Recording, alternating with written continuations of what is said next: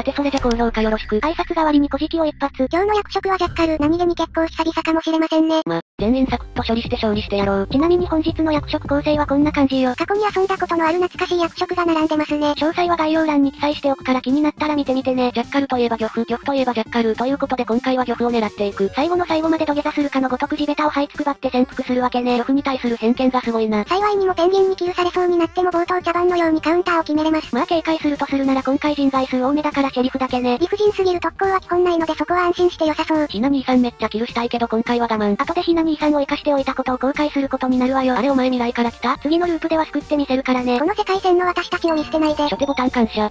さて2ターン目、そろそろサイドキックを作ることも考えていくべきかしら。うーん、まあ早いうちに保険として作っておくのはありだと思いますが、大きくアドを取るならせめて1キルは起きた後にした方がいいかもです。容疑者とかに入っちまってもサイドキック作ればなんとかなるしな。じゃ今回はちょいちょい死人作りつつ生存を目標にしていきましょうか。シャワーで体も綺麗になったし電気室に行こうか。タオルで体は拭かないタイプですか？原始人以外でそのタイプ存在する？今必死に走って水滴を体から振るい落としてる。いましたここに。古代人の生き残り把握。まあこういう時はバイタル前をうろうろするに限る。最悪ペンギンに持っていかれてカウンターキルした時も死体見つかりにくいだろうしな。あ、本家メテオさん。こっちの方が本家感あるスキンなのくさ。メテオさんがこの試合でいなくなれば私たちが本物です。ま、気力的に当然だがまだ誰も死んでいないと。電気室にはメテオさんが向かってたので貨物側に向かいましょう。ペンギンに吸い込まれても逆にキルできるとはいえ、できれば無駄に動いて容疑者に入りたくないしね。残り時間はバレにくい貨物右側で待機かなと。ウパさんの死体が見つかったようだな。メテオさんとの死人があるので左側での死体発見なら白もらえそうです。えー、っと石油の下の方で死んでました。そこレイラーさんが向かってた気がするな。でもそれ結構前だけどね。初手で電気室降りて石油のテープやって今貨物入ったとこまで来てるよ。あれ？その経路で私たちと会わないとかありえるか？怪しいけど釣りに行くかはもうちょい会議の様子を見た後ね。ちなみに10秒前のアドミン情報ならあります。ぶっこが4、キッチンが1。全コとレイマリヒナミーグサオの4人がぶっこかな。出ないのであればキッチンはウパさんでしょうね。で、石油に移動したところをキルされたと考えるのが自然です。あと電気室に。あれ電気室に？自分しかいないと思ってた。メテオはバイタル方向から電気入ってるから多分メメさんとレイラーさんかな。一応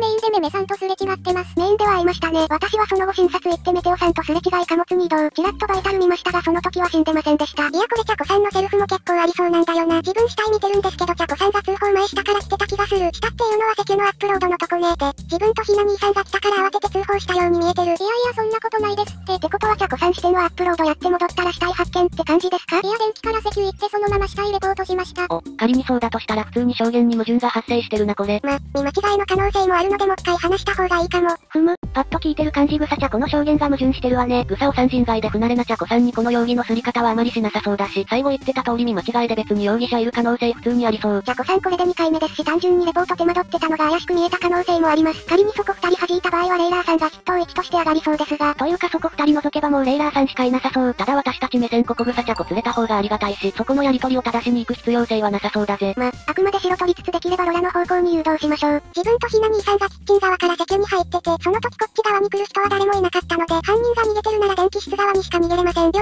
ひな兄さん。まあいつ死体ができたかにもよるけどそうだね。私視点メテオさんは結構キル難しそうです。すれ違ってから石油行って電気側に逃げたのなら時間的にチャコさんに見られてないとおかしそうなので。メメさんもバイタル前から右側行ってたし無理だと思うね。全コパスレイマリは隠しろです。となるとチャコレイラーのタクグサオさんもある自分はひな兄さんと白取り合いますよ。んキルはできない。レイラーさんやっぱ石油側行ってた気がするんだけど。いやでも多分チャコさんだと思うけどな。自分視点死体の上に立ってたし。グサオさんめっちゃグイグイ押してくるな。思ったけどもしかしてグサオさんマットなのでは？ひな兄さんから白出されてるしレイラーさんをかばうためにチャコさん叩いてる説。それは普通にありえますね。いやというかそれしかない気がしてきた。ま、じゃあここは芝生に乗ってチャコさん投票しておきますか。お、微妙そうな流れだったがなんとかチャコさん連れてるな。レイラーさんインポスターグサオさんマットで考えておいて良さそうです。これで残り9人盤面、そろそろ最終盤面見据えて動いていかないとね。もうそろそろサイドキック作っちまってもいいな。サイドキックにするなら今のところ第一候補はグサオさんですね。元マットとなるとかなり都合がいいしね。インポスター把握してるだろうからマットのふりしてればキルされないだろうし、インポスターのマットありきの勝ちムーブを崩すことができるしな。信じてたマットが最終盤面で裏切ってくる絶望を見せてあげます。少年の曲がり方が異常。メテオさんはレイラーさんがやったと思ってるの？貨物にどうやって行ってるのかが謎なんだよね。確かにメテオさんの経路的にレイラーさんと合いそうですよね。まあそこメテオ通ってるし、レイラーさん貨物行ってたらメメさんも見てそうだよね。まあ私はバイタル見た後すぐに貨物抜けてるので、後ろをついてきてたら合わない可能性もあるといえばありますが。あとあとレイラーさんを釣れるよう布石だけ巻いておこう。ま、なんだったらこの後釣れたらそれはそれで美味しいしね。どうせ釣られるならお土産で数人持って行ってほしいところ。さっき指摘せずにチャコさん釣ってやったんだから最低3キルは頼む。強力な壺。メテオさんはもう完全にクルーメイトっぽいので、近くをうろちょろしてれば安全に立ち回れそうです。ま、周辺であまり離れず適度な距離を保ちつつ動くか。おっとここでレポート。って死んでるのレイラーさんか。さすがにこれはシェリフに切られたやつか？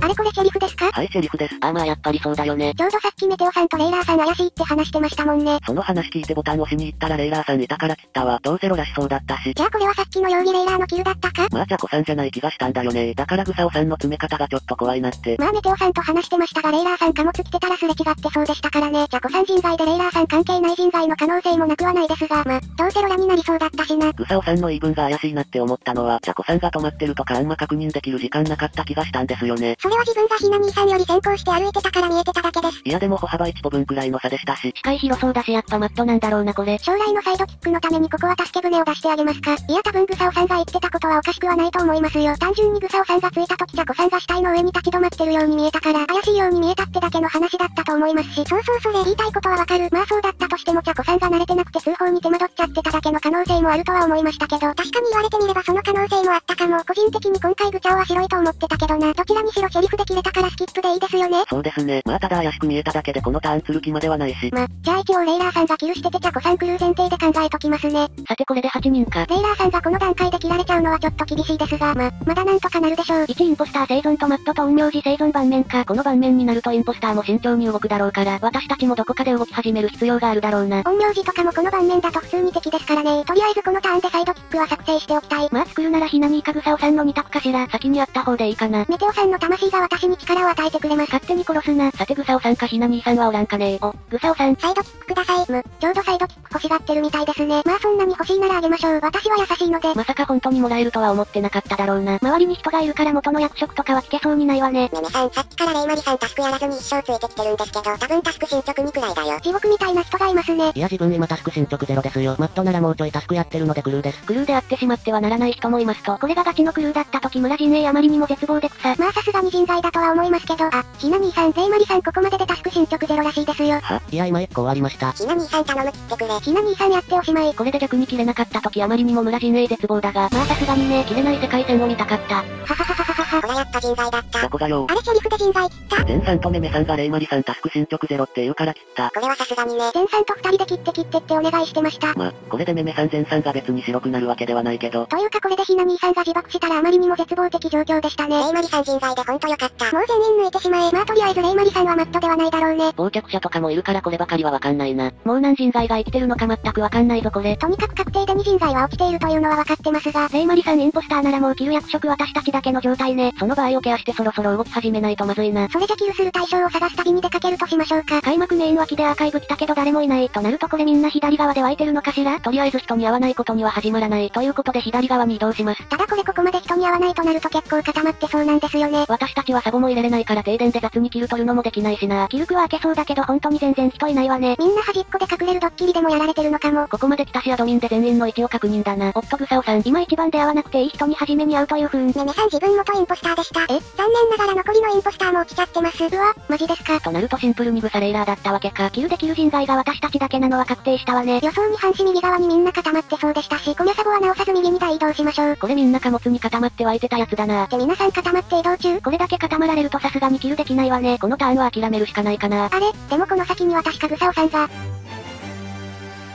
おいおいおいおいおいおい、セリフやりたい放題で草。はははははは、八幡さんがグサオさん切っていいよって教えてくれたからキルした。これ八幡さん陰陽師説出てきただろ。いやいや違う違う。八幡さん人外なのに村陣営についたのか。陰陽師はキル役職が誰か初めから分かってるからね。グサオさんコミャサボ直そうとしてたから逆走したんですけど、ひな兄さんと会った時は突っ込んでくるかと思いました。逆走してたから切ろうか悩んだけどね。メメさんの逆走なんだと思った。先に八幡さんからグサオさんキルしてって聞いてたからスルーしたわ。間一髪だったな。まあジャッカル陣営的に痛手なのは間違いないけどね。まだ何もしていないサイドキックをキルするという極悪非道。グサオさんの仇は必ず私が取ってやるからな。で、今回他に何かあるのいや何もないですよ。コミャサボ前で直さずに立ってた人が切られただけです。そうそう一人減っただけ。グサオさんが死んだのに一人減っただけだと許せません。不当なシェリフの突に厳正なる神の裁きを。正当なんだよな。でもこれで6人1ジャッカル盤面なわけだけど、シェリフも生存してるしこれはなかなか厳しいものがあるぞ。めめさんサイドキック誰ですかあ、やっぱ八幡さん陰陽師だったんですね。ちなみにサイドはもうさっきキルされてます。あ、そうだったんだ。ていうかこれめめさん式神にしたらどうなんのキル役職は陰陽師で式神にできなかったよううな気がするが。できるかわかりませんができたら試してみたらいいのでは？そうですね。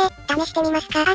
でもこれボタン反応しないわ。ここ式神にできたならワンチャンそのまま勝利まであったのに、人外全滅するから陰陽師の勝利あり得たな。ま、でもできないものは仕方ありません。せっかくですしラテさんでもキルしに行きますか。そうですね。行きましょう。サイドキックの代わりに陰陽師を仲間にできたな。サイドキックキルされて辛いとこだったしちょうどいいわね。ま、八幡さんのせいでグサオさんは切られたんですけどね。昨日の敵は今日の友だ。お、お二人さんお揃いで。そしてここで鳴り響くリアクター。前さんがリフトで離れてくれると助かるんですけど、お、これは非常に都合がいい。はいまず一人目、ここからジャッカル陣営快進撃の幕開けだ。治ってないとリフトで戻ってくるだろうから直しておきましょうか。よし、じゃあ八幡さんとっとと現場からおさらばしましょう。できれば追加で一人持っていく時間欲しいけど。まあそうすれば人外数2で実質パワープレイもいけるしね。リフトで戻ってこなければもう一回グール溜まりそうですけど。そればかりはお祈り。まあ当然ダメと。うん、なんとか釣り返ししなければいけなくなりましたね。ラテさんの死体ラテさんの死体メメさんと八幡さんラテさんと昇降機左いなかったうん、いましたけど二人とも離れちゃってるんですよね。エンジンまで一緒に移動して八幡さんが右に、私が左に分かれてます。自分電気室でひな兄さんと会ってから昇降機右向かってる。まあメメさんか八幡さんのどっちかじゃない。お互いラテさんを昇降機左に置いてきてるので条件は同じですね。うん、全く同じ。個人的にハメメさん釣りたいけど。いやいやそれならタスク進行でどうですか私は八幡さん連れなんて贅沢はことは言いませんよ。そうそうタスク進行しかない。まあじゃあタスク進行にする？私ボタン余ってますし次のターン押しますよ。いやでもそれボタン押してくれるか怪しいでしょ。私が押さなかったらひな兄さんが突っ込めばいい話ですよ。まあそれは確かに。じゃあ一旦スキップするか。今回もギリギリなんとかなったな。このターン1キル取れれば八幡さんが裏切らない限りパワープレイですが、果たしてうまくいくのか。その投票の時に裏切られたら負け濃厚だけどな。それは考慮せずに行きます。ここでひな兄さん持っていけたらベストですけど、ひな兄さんも私たち見たらと釣ってくるでしょうから難しいでしょうね。まあもう誰であろうと八幡さん以外ならいいだろう。こういう時にサボを入れれないのがジャッカルの弱いところだな。米サボ家庭で入れれるだけで話変わりますからね。ないものねだりですが、クール開けるまでボタンが入らないことを祈るばかり。お、お二人ともお揃いで、助けて助けてタスクはやらなくていいんですか？己の引きを悟ったようですね。そうですあなたはここで終わりです。よっしゃざまあ見やがれ。とりあえずこれで残り人数は4人。前さんの死後の念でリフトが右側に運ばれていきます。ラテさんの死体をさっき見つけちまうからこうなるのさ。あら、メテオさんまだボタン残ってたのね。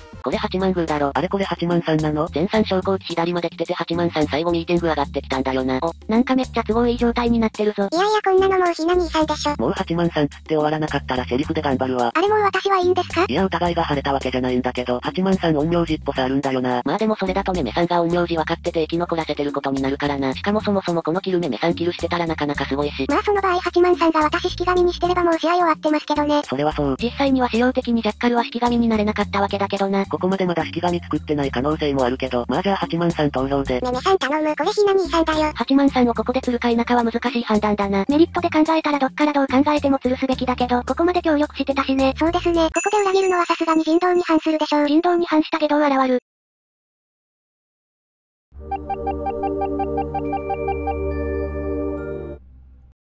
さてこれでラストバトルだ。私たちが先に一人切れたらジャッカルの勝利。ひな兄さんに切られたら私たちの敗北ってわけですね。早速ひな兄さんに出くわして追いかけられてて草。おーおーおーやる気か？お互い気力溜まって相打ちならおそらく私たちの負けですよ。それ考えたらメテオさん狙っていきたいところだが、ふむ、メテオさんは昇降機にいるようだな。リフトで逃げ回るつもりのようね。なかなかやりづらいところに隠れるじゃないですか。できれば一発で仕留めたいですし気力溜まるの待ちます。溜まった瞬間扉開けて強襲する感じでいいな。こういう時インポスターならリアクター鳴らしてほぼ勝ち確なんだけどね。さてそろそろ扉を開けるとしましょう。む、ひな兄さん下から来ちゃってますね。達人の前来た。あー。最後打ち負けちゃいましたね。割といいとこまで行ってたんだけどね。今回シェリフ4人外持ってってて草。暴れてましたね。ということで本日はこれで終わり。高評価とコメント、チャンネル登録と Twitter のフォローよろしくね。それじゃまた次回の動画で、さらばだ。